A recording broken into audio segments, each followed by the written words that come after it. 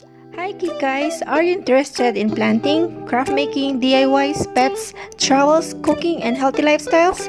Don't forget to subscribe and click the bell button. Hi guys! Welcome back to my channel!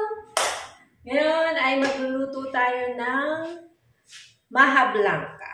So, para maiba naman at matagal na akong hindi nakakapag-upload ng uh, cooking video. So, ngayon ay luluto tayo ng maha blanca. So, kung gusto mo ng ganitong mga videos at interesado ka sa mga videos na pinopost ko dito, pasensya na sa boses ko, na nawawala ang boses ko. Um, don't forget to click the subscribe button and the notification bell para ma-notify ka sa bawat video na i-upload ko. At don't forget to like and share na rin. So, ano bang ginagawa natin? Umpisahan na natin to. Here we go! So, we're back, guys. Nandito na yung ating uh, ingredients para sa ating maha blanca. So, we have um, 1 and 1 fourth of sugar. Ayan. Meron tayong isang can of cream corn. Meron din tayong 1 can of corn kernel. Tapos, kailangan natin ng cornstarch na 1 and 1 half cups of cornstarch. Meron tayong 1 can of evaporated milk and 4 cans of coconut milk. Tapos, gagamit tayo ng 1/4 teaspoon ng vanilla and crushed um, what do you call this? Uh, mane, peanuts. So, yan ang pantatoppings natin mamaya for a change, para maiba naman. So, that's it. So, let's go to the procedure. First, uh, i-mix muna natin yung ating, hi guys, i-mix muna natin yung ating mga dry ingredients. Then, i-add natin yung uh, liquid uh, pakonti-konti. So, sa ating kasirola, meron na tayong uh, 1 and 1 half cups of cornstarch. Then, add natin yung ating uh, 1 and 1 4 cups of sugar, white sugar. Ayan. Then, i-mix natin. Siguraduhin natin na ano, ma-mix natin siya mabuti para mas maganda yung kakalabasan. Okay? Ayan. Then, after that, i-add na natin yung ating liquids. So, i-add natin yung ating coconut milk, yung ating evaporated, evaporated milk, yung ating corn kernel, at saka ng ating corn cream. Okay? Pati na ang ating um, vanilla. So, gradually lang po ang ating pagdagdag or pag-add ng ating uh, mga liquids para hindi mamuo-muo yung ating uh, dry uh, ingredients, yung ating cornstarch. Kasi hindi maganda pag may buo-buo yung ating cornstarch. Hindi masarap. So, dahan-dahan lang yung pagdagdag. Ayan. Gradually lang. Ayan. Konti-konti. Sabi nga nila, slowly but surely. Ayan. May exercise ang ating braso nito. Ang atong, ating braso de Mercedes. Ako. Mas magiging malakas yan sa pag, ano, pag mimix ng ating maha. Dahil kailangan ng constant uh, steering ng ating uh, ingredients para sa ating maha. Ayan.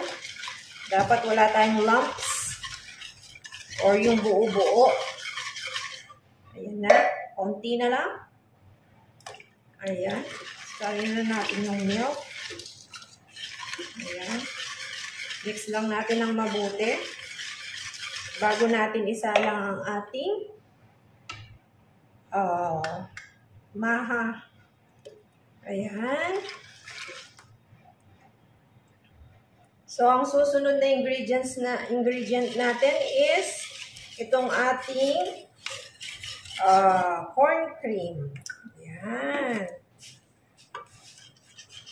Ayan yung ating corn cream. Tapos, ang susunod, lagyan din natin ng corn kernel. O, diba? Napaka-special ng ating maha.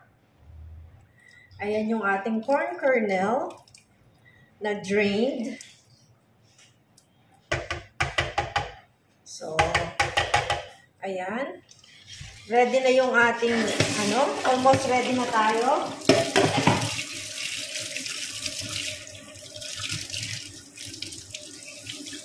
So, lagyan na natin ng 1 1 teaspoon ng ating, ayun, sorry, 1 4 teaspoon ng ating vanilla. Okay. Ayan. Dagdag na natin dyan. Ayan. At ating i-mix lahat itong mga ingredients natin. Ayan. So, ready na to. Para isalang na natin. Ayan, nakasalang na ang ating maha. Ayan, kaya lagi natin dapat itong ihahalo. Kasi pag hindi na, pag tinigilan natin yung paghalo, magbubuo-buo siya. So, halo lang ng halo. Yung ating uh, fire is only medium heat Huwag masyadong malakas. Tama lang. Dahan-dahan. Ayan. Basta ikot lang tayo ng ikot. Then, pag ano na siya, pag uh, yung starch, nawala na yung lasa ng pagiging starchy ng ating cornstarch, pwede na yon. Pwede na natin siyang isalin sa ating mga lalagyan. So, for now, balikan ko kayo pag malapit na siyang maluto. Okay, guys?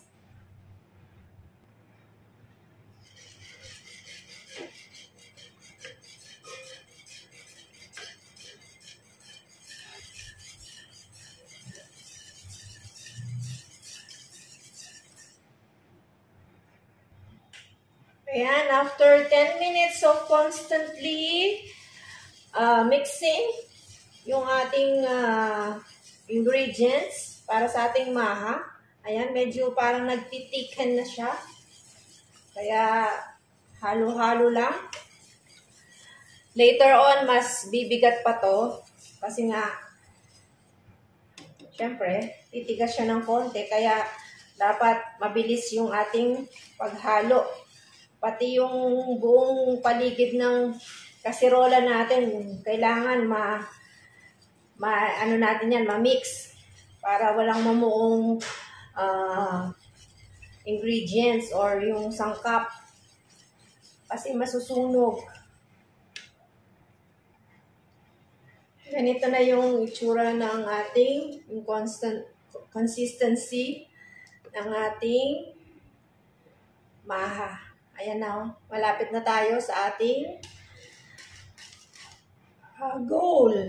Goal na maging malapot siya at mawala yung pagka-starch starchy ng ating cornstarch. So, ready na yung ating mixture. Ayan na. Pwede na natin isalin sa ating mga container. Ayan. Pwede na yan. Ayan, no? Ayan. Okay na yan. Pero tikman nyo pa rin po kung kung hindi na siya lasang harina or starch. Ayan. Yan ang ganyan. Ganyan yung consistency na kailangan natin. Ayan, ganyan.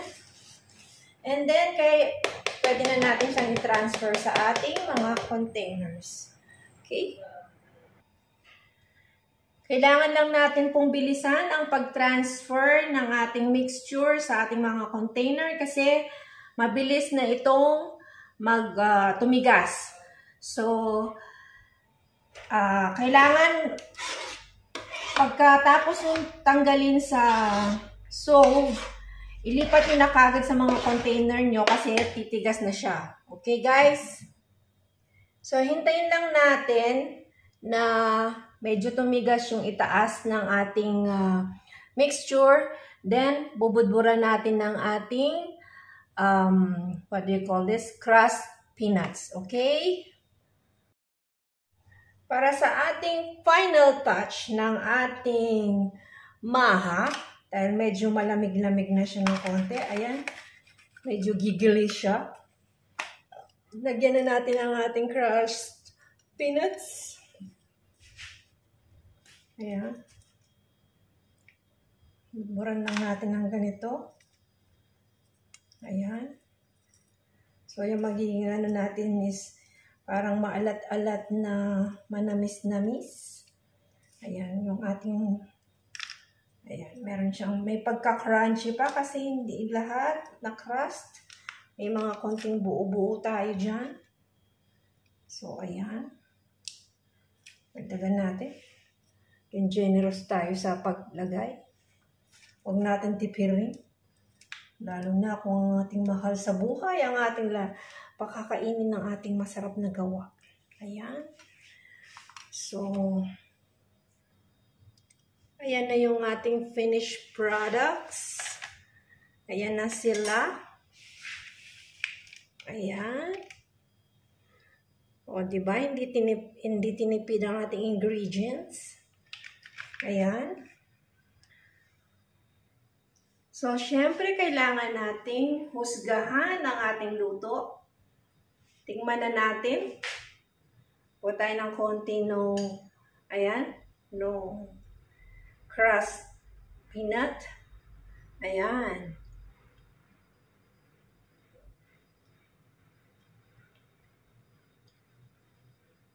Sharp, sharp. Yung measurement ng ating uh, uh, maha, para dun sa masya, hindi masyado mahilig sa matamis, sakto lang siya. Ito na. Ang maha para sa inyo. Mm. Mapapawaw ako sa sarap. So, ayan guys. Kung gusto nyo gumawa ng simple at masarap na recipe, try nyo na yung ating maha. Ito po, ang ating maha.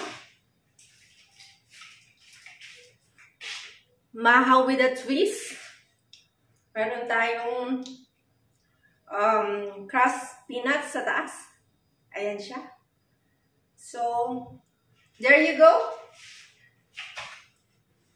You can try the recipe and you can also add and add some other ingredients you want or kung gusto mong may langka or whatever uh, ingredients na gusto nyo sa loob ng inyong maha para maiba naman, nasa sa inyo na yon. So, thank you for watching. God bless everyone.